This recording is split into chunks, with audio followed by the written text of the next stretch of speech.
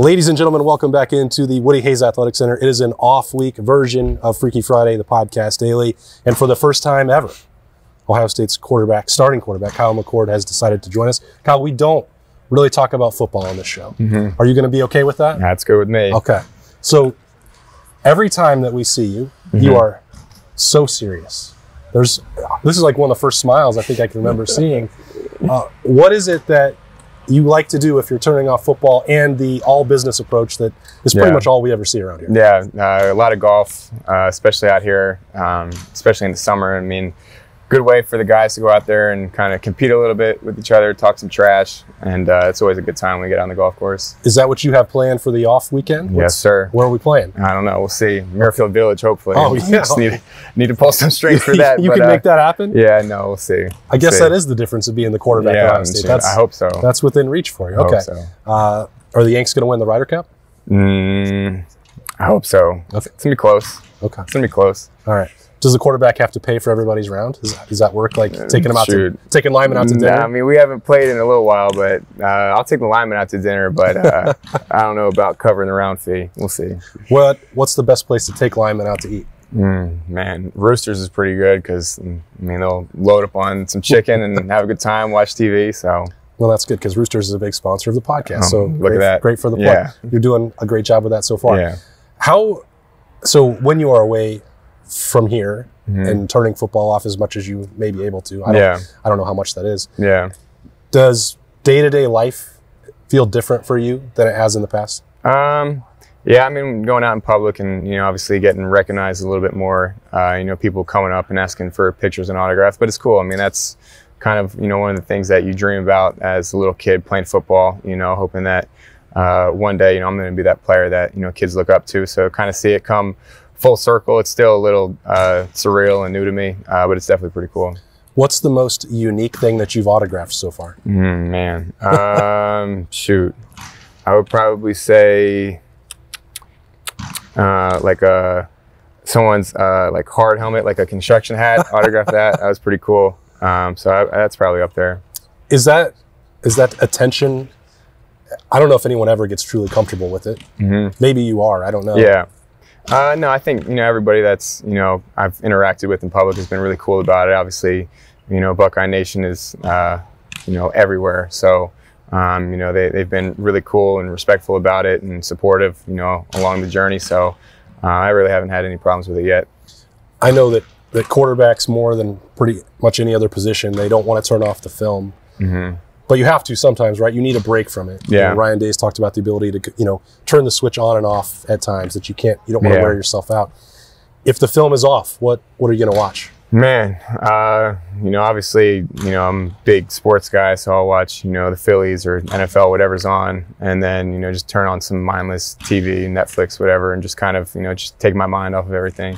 You worried about the Braves then? the best team in baseball. No, I mean, shoot, we'll see. I mean, who won the NL last year? So, Oh, that was last year. yeah, no, I mean, hopefully Bryce Harper and the fellas can come up clutch again. So, I'm going for him.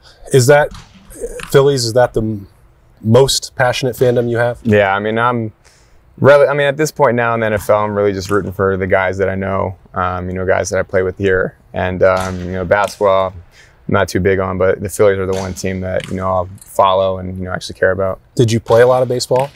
Growing up, I, I wanted to, uh, but my parents kind of made me play lacrosse to make their schedule easier to mend with my brother. Uh, so I didn't really have a choice there. All right, so one thing that we always have to figure out is what guys are listening to right now. What's in the headphones? If you get to Mm-hmm. Pick the celebration song in the locker room, Yeah. what's going on? Uh, I mean, before the game, uh, like early on in the morning, like Bob Marley, something slow and relaxed, um, you know, just kind of laid back. And then after the game, oh man, probably some type of Drake, uh, something like that. Um, yeah, that's that's what I listen to to kind of get me in that mode. Meek Mill, another good one. Do you do you feel like with an off date, like you want to be completely away from the game? Mm-hmm.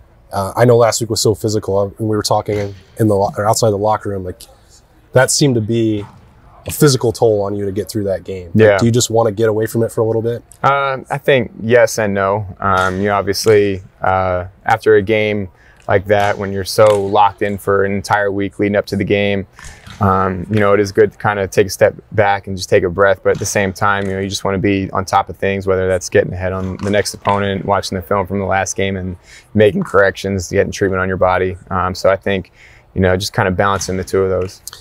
If you've got a few NIL partnerships already going, uh, and certainly you're supposed to come bring me some Roback. That's a deal that we've got.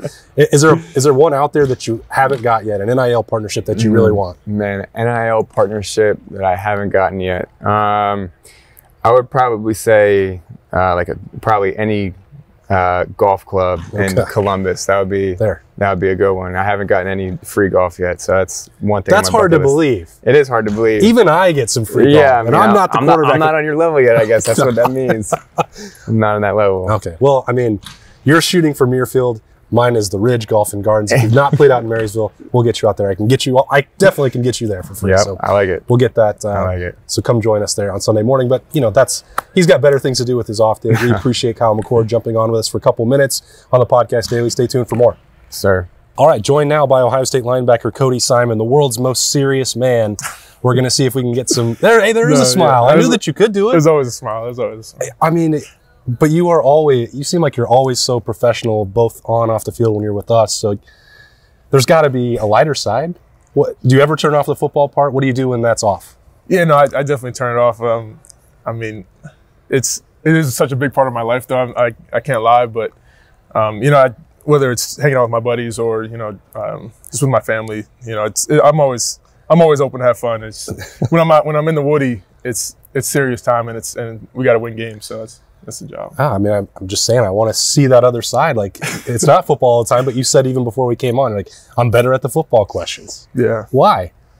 you know, I, I mean, it, it, it could be sad, but I don't know. But uh, I, I think uh, my life, my life has been around sports, and you know, it's I've always had my some, a lot of my my uh, best and most exciting moments in sports, and so I, I can't I can't lie and say that those aren't some of my my most my most proud moments and my bring my family together the most, and so All right, so you have an off date. You may have some time that's you're you can't play football this weekend. yeah.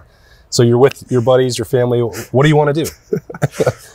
So I guess watch football. Well, come on, Cody, come on. No, um, I, I think my dad's gonna be coming up to town, so I think we we might play some golf or something. But uh, um, other than that, you know, really just recovering and um, I like I like to watch like uh, cooking shows. Okay. I like cooking a lot, so that's definitely definitely one of my best things. Grilling is, is really fun to me, and you know, Do you I- think you're a good chef? not enough to get on one of those shows, but but I can I can cook some some good stuff. Okay. What's the best thing if we're going to Cody Simon's restaurant here, Barn Grill? What are we What are we slinging? Well, I'd probably say I, I cook some good steak, Okay. but I also cook a good uh, chicken sandwich. I had some some breaded chicken. I back in Jersey we we I have a lot of subs, a lot of Italian subs, so I can make some a chicken cutlet with uh, some good sides. and- yeah, so I, I, that's what I do like though. Okay. Uh, now you also mentioned you might play golf with your dad. Are you a good golfer? No. Just a recreational, fun time golfer. I'm recreational Okay, at best, all and- but it's it, it's a great time, and you know I it's not a lot of impact on your body. Some you're staying outside, and it's, sometimes fun to get away from your phones and your TV a lot. So that's what I kind of like. That. You have a favorite course around uh, Columbus?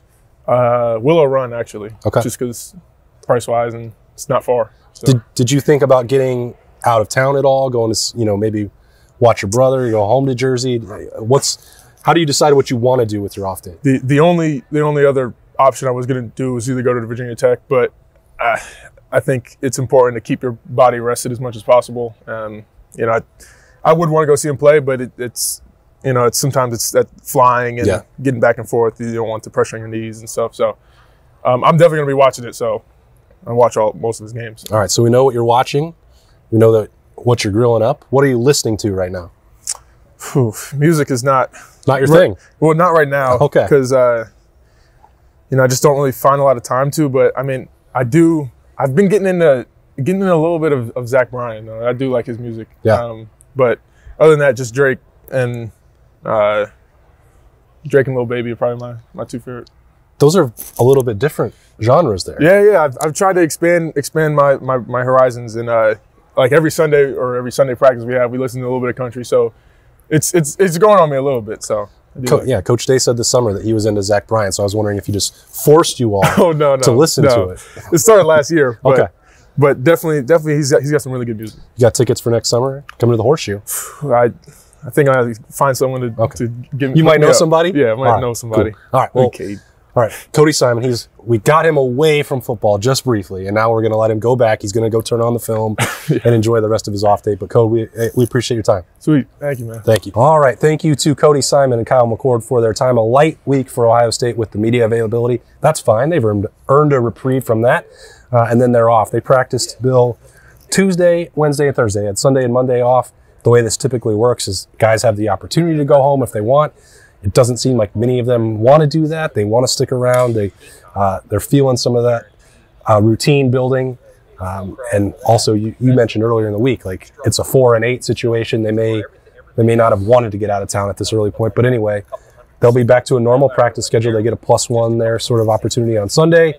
That's the way Ohio State manages the off week. Yeah, and it, it does feel like more and more over the last, I want to say like two, three years, that guys typically stay on the bye week now. It's hard, right? Especially if you live anywhere farther than like a four hour radius of Columbus. Like, are is JT Tuimoloau going to get on a plane and fly to Seattle for like 35 hours and come back to Columbus? I doubt it. I would like to know who is making the farthest trip in, in the shortest amount of time. Like, is Enokk Vimahi going to just jet over to Hawaii real quick and then come back? Ryan Day did the did the flight to, to recruit Enokk. He flew to to and from Hawaii on the same day. Might Enokk do the same thing? What, what was it? 2019, I think it was. Berman and I went out to LA during the off week, and we were doing interviews with uh, Kourt Williams, uh, Bo Collins. We were out there. Like one of those worked out better than other the other for Ohio State, but like, uh, and then spent a lot of time with CJ uh, before his commitment. But we were out at that game at St. John Bosco, and Wyatt Davis was there. We interviewed him at halftime. Like that was a long flight. Yeah. He was only going to be there for like 36 hours. Like, crazy. why did you do this? Like, I had to come get some in and out and see my family. It's like, Oh, I respect that. Maybe Okay. they should have come. But, Yeah. But that's one of the last like long flights for these guys that I can remember. I think they realize that they've got it pretty good in here in terms of food's all taken care of. You can prep for next week. Uh, if you need physical therapy, Treatment, any of that yeah. stuff, like it's all here. Yeah, I'm sure guys are probably wanting some of that treatment after the Notre Dame game too. So so it makes sense. But I would fly. I hate flying. I would fly 36 hours to to LA for in and out. I think No, come on. it's a good burger, man. Maybe not. Maybe You not. don't have to. That's a little crazy. There's one down the street from my parents in Texas now, so you just I'll just go there. just instead. go there instead. Where's the closest? And then you can go to Green Columbus? Okay, that's better. Okay, not to LA. Yeah. No, thank you. Yeah. That's what you can get on a Freaky Friday. Really weird conversations about where Bill would go. Like we're we're going to Grove City. That's beautiful Grove City. yeah. Um, what what else did you think Ohio State had to accomplish during this week? Anything? No, I, I think it's a good it's a good time to look at some tendencies. Obviously, that's what a lot of teams do in, in the off week. But I think for as good of a win as that was, right, and we're not again, we're not taking anything away from it. Win, however, you need to win in a game like that. There are things they need to work on. Like they got to figure out a better short yardage play, not to not to beat a dead horse, but um, I, I think that's probably a focus of this week. You're not going to get overly physical in these practices. Maybe it's more talking about ideas than it is actually practicing them until you get back for, to prepare for for Maryland next Saturday. But um, whatever they feel like they need to work on. Um, there were third down issues earlier in the year. It does feel like they've gotten a lot of that kind of fixed on both sides of the ball, which is which is good to see. But obviously, want to continue to improve there. And then I also think too, are, we've talked about this. Like, are there younger guys on the defensive line who might be able to help them as we mm-hmm. get deeper and deeper into the season? I think this could be a big week for guys like that to, to kind of make strides as they as they eye a little bit more playing time. Yeah. As much as I've talked about the rotation, and there's some of that still existed on the defensive tackle spots, but like JT and Jack Sawyer, I said they needed to play until they puked, and neither one puked. So, and Get JT back was, out there. He was still fresh for that last drive, but Yeah. But then asking them to play every single snap is probably too much. Like I, I will concede that point, but if the argument is they can't do it, I think JT did prove that they he can. Yeah, Uh, it's not. It's not that. It's not whether they can or can't. It's just like, can you protect against that situation again? If you feel if you feel like you need to dip into the depth, like I think at the moment it's pretty clear that there there's a gap in I don't know a confidence for lack of a better term between like the top two defensive ends and the top three defensive tackles and everybody else in the defensive line room. And it can can anything be done this week and moving forward to close that gap a little bit so you can play a handful of guys or even two or three guys like five snaps a game to make it so that JT and Jack don't have to play every single snap in every big game. All right. Wrapping it up here on a Freaky Friday with just a little bit of football. Hope you enjoyed the conversations with Kyle McCord and Cody Simon as well. I appreciate those guys joining us for a couple minutes. That's going to do it from the Woody Hayes Athletic Center during the off week. Back to a normal schedule uh, next week with Tuesday, Ryan Day and Jim Knowles players on Wednesday, Ohio State and Maryland in eight days. Uh, for Bill Landis, Kyle McCord, Cody Simon, I am Austin Ward. Thanks for joining us. Talk to you later.